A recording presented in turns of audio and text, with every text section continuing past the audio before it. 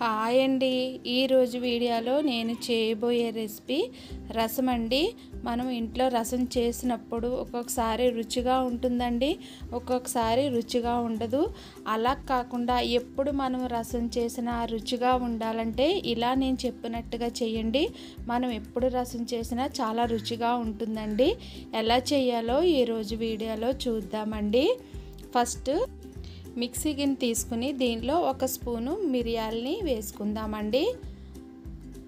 అలాగే ఒకటిన్నర స్పూన్లు జీలకర్రని వేసుకుందామండి. ఈ రసానికి జీలకర్ర కొంచెం ఎక్కువగానే వేసుకోవాలండి.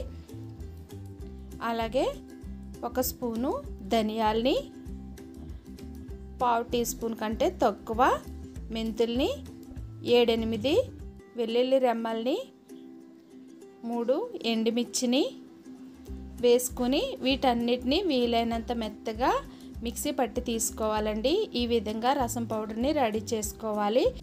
ఇలా రసం పౌడర్ చేసుకుని మనం స్టోర్ కూడా చేసుకోవచ్చండి. రసం పౌడర్ చేసిన తర్వాత కొంచెం ఆయిల్ని వేసుకుని దానిలో ఈ పౌడర్ని ఫ్రై చేసుకుని అప్పుడే హెయిర్ డబ్బాలో వేసుకుని స్టోర్ చేసుకుని ఎప్పుడు మనం రసం చేసినా ఇన్స్టెంట్గా పౌడర్ని వేసుకుని చేసుకోవచ్చండి.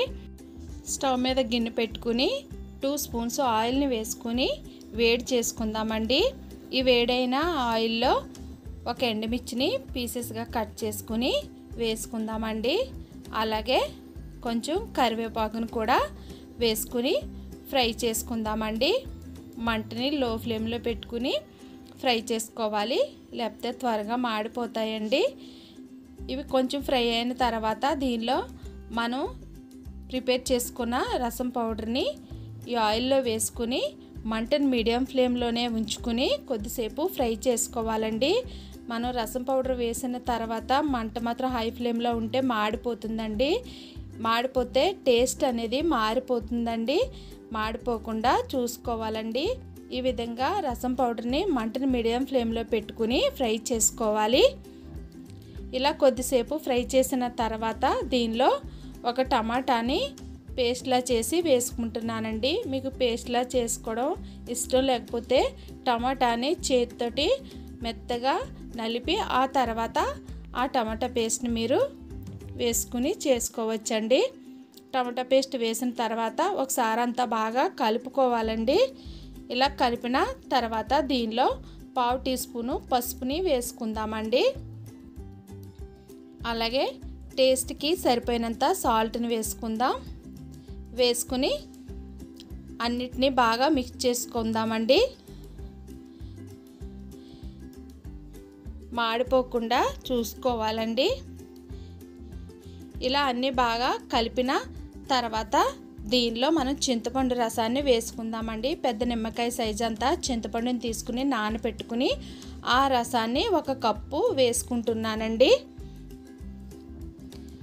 ఇలా చింతపండు రసం వేసిన తర్వాత మనకి ఎంతైతే రసం కావాలో అంత వాటర్ని వేసుకోవాలండి. నేనైతే నాలుగైదు కప్పుల వరకు వాటర్ని వేసుకున్నానండి.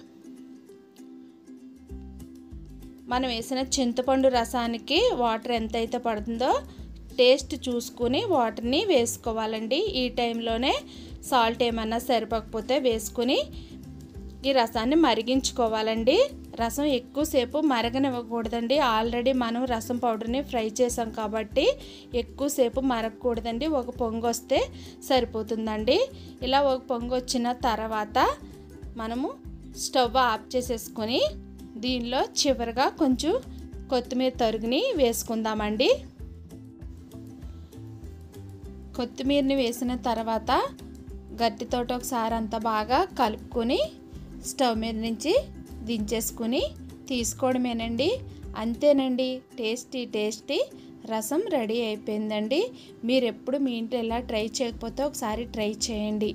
ఈ రసం అండి కూర ఏమీ లేకపోయినా వేడివేడి అన్నంలో వేసుకుని తింటే చాలా అంటే చాలా బాగుంటుంది. తప్పకుండా ట్రై చేయండి. ఇలాంటి మరిన్ని వీడియోస్ కోసం నా ఛానల్ని సబ్స్క్రైబ్ చేసుకోండి. మీ ఫ్రెండ్స్కి మీ రిలేటివ్స్కి షేర్ చేయండి. లైక్ చేయండి. నాకు సపోర్ట్ చేయండి. Thank you for watching.